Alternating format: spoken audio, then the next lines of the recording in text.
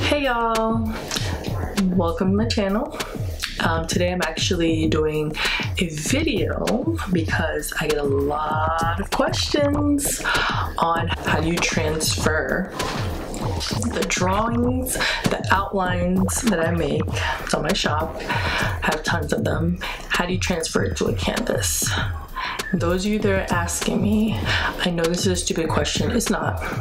It's not. It's okay not to know how to transfer an outline to canvas. Well, like that's not knowledge we're supposed to know. So for those of you who are asking, um, I do have two other methods on my other videos, which I'm going to touch them at the end of this video. Well, here's a third method that you guys haven't seen me do and some of you guys may be familiar with it, may not be familiar with it. Cricut Oh, this one of mine. This, this, this right here, this is mine. this is me. I made this outline, um, of course, amongst all the other lovely outlines that I make. You're gonna need heat transfer vinyl guys. Canvas, of course, a Cricut heat press. And I'm gonna show you how to do this. And I even show you what my digital, how to get it from my digital outline from my app, which is Procreate. So let's get right into it. Voiceover time, here's my illustration, all colored and beautiful in my Procreate app. I'm gonna take out the background, put it into my Cricut design space, and I'm gonna save it. And Cricut actually thickens the lines if it's too thin. I'm to go ahead and save it, put under whatever name, and I'm going to insert it into my space. Now, the canvas I'm using is the 9 by 12. So I'm to put it maybe like an 8.5 by 11. You can go back and forth and see if it fits or whatever it turns out onto the final. Now, if you look here, you should have it with the mirror on because it is heat transfer vinyl that you are using thank me later. All right, so now I'm gonna go ahead and have my little Cricut come up. It's ready, and I wanna make an easy weeding. So I will put the point blade. Here I'm placing my little scrap vinyl so it looks uneven onto it. I'm gonna put it into my machine. I'm gonna open up my little 9 by 12 canvas here. It's a panel, it's not a flat surface canvas. I only use panels. That's what artists use, either wood or panels wooden panels, canvas panels. Unwrap it, make sure it's nice. You can always gesso it beforehand. Um, here is the cut up and I'm going to take it off the mat and I'm going to start weeding with my weeding tool. And let's fast forward this. I mean, this generally without fast forwarding takes about 10 minutes for this outline. Other outlines, it could be shorter. But since I had so many little details into my butterfly, I had to take some time. And this is why I wanted to do the deep point blade so that way um, if it was too light, I don't have too much, I don't have too much of a hard time weeding it.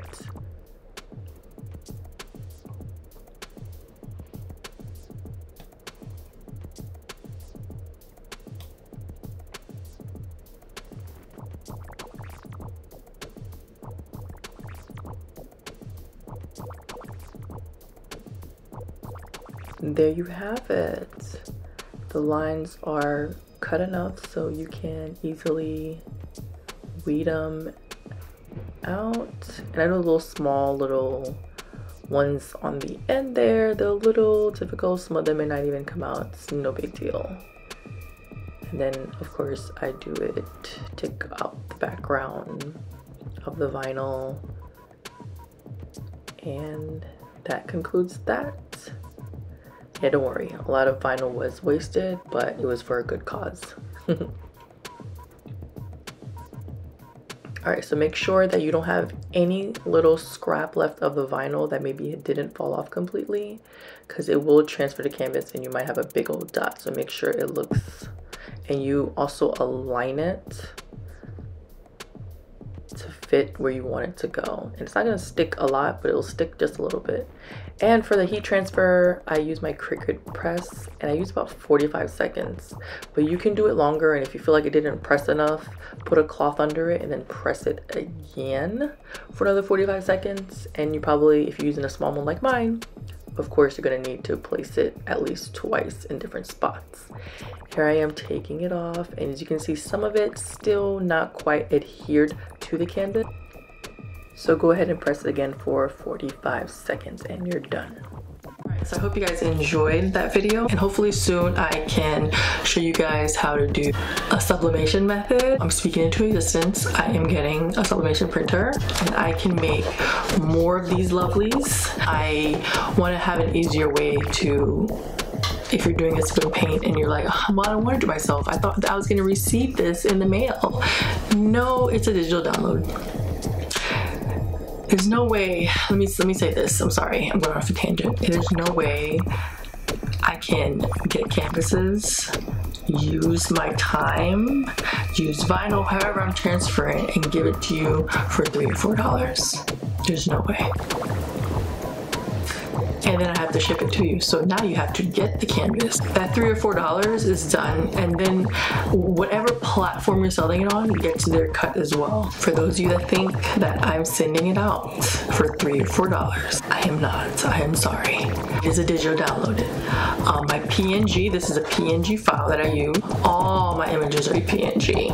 And yes, I guess I would have to find a way to convert it to an SVG. Um, and you can also always find a way to convert to SVG as well. So, with that being said, my digital downloads go to your inbox and your purchases. Many of you lovely human beings know that, but there are some people that get confused. When am I getting this in the mail? And I'm just sitting there like, even if I was to send the piece of paper, I still would have lost money. It's an instant download, guys. So yeah, if you want to see more of these, um, check them out in my Etsy shop. Every just all my places to find all my stuff is on my Instagram, Etsy shop, Facebook, but everything's really on my Etsy shop site. Two years in the making, under construction. so um, if you want to see more videos like this, I can. And if you actually want to see me paint it, I can do that. If you actually want it, I can post it on my Etsy shop. Just leave me a comment. And if you came from this video, I will give you a discount. Hopefully it's not gone before you get there. But then there's always an option to make another one, so it's not like you know it's gonna be sold out. If you're wondering, well, how about the paint pots and the paintbrushes? I have another video that you guys watched um, where I shipped out these large canvases and I just show you how I put them in paint pots or well actually I use different ones now. So maybe I should update that. Oh, there's so many updates. Oh my gosh I just can't keep up with my own progress. Um here's my Cricut there it is. You're gonna need of course your Cricut heat press.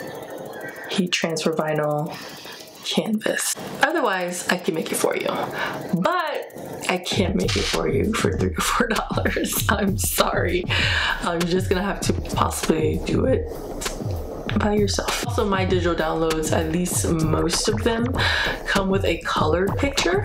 When, when it comes to art, I'm a big fan of butterfly wings, but I mean, I wouldn't be like, oh, I feel like butterfly wings is always just a representation of metamorphosis and change and just being at a higher level than you were before.